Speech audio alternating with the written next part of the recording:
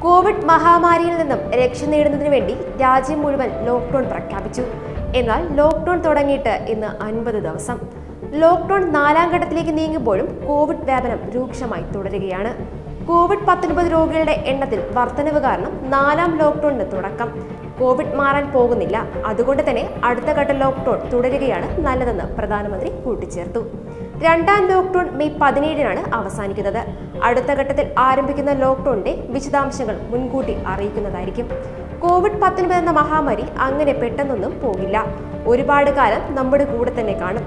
അതുകൊണ്ട് തന്നെ കോവിഡ് എന്ന മഹാമാരിക്കൊപ്പം ജീവിച്ച് മുന്നേറുകയാണ് വേണ്ടത്. കോവിഡ് വ്യാപനം മുൻകൂട്ടി മനസ്സിലാക്കി മാർച്ച് ഇരുപത്തിനാല് മുതൽ പ്രധാനമന്ത്രി നരേന്ദ്രമോദി രാജ്യത്തെ സമ്പൂർണ ലോക്ക്ഡൌൺ പ്രഖ്യാപിച്ചു.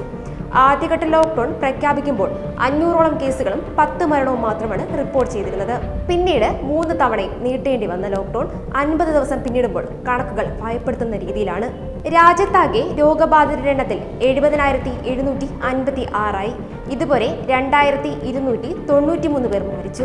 കോവിഡ് ബാധിതരുടെ എണ്ണം എഴുപതിനായിരത്തി എഴുന്നൂറ്റി അൻപത്തി ആറായി മരണസംഖ്യ ഇരുപത്തിമൂന്നായിരത്തോട് അടുക്കുന്നു. എങ്കിലും മറ്റ് രാജ്യങ്ങളെ അപേക്ഷിച്ച് ഇന്ത്യയിലെ ലോക്ക്ഡൌൺ ഫലപ്രദമായിരുന്നുവെന്ന് കേന്ദ്ര സർക്കാർ വിലയിരുത്തുന്നു. മഹാരാഷ്ട്രയിലും ഗുജറാത്തിലുമാണ് അനിയന്ത്രിതമായി കോവിഡ് രോഗം പടരുന്നത്. അതോടൊപ്പം തമിഴ്നാടും മധ്യപ്രദേശ് രാജസ്ഥാൻ ആശങ്കയിലായി തുടരുകയാണ്. രോഗമുക്തി നിരക്ക് ഉയരുന്നതും ആശ്വാസമാണ്.